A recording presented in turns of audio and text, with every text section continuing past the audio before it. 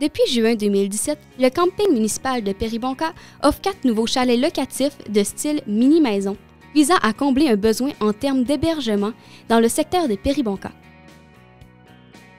Ces unités sont toutes équipées, décorées au goût du jour et peuvent accueillir jusqu'à six personnes.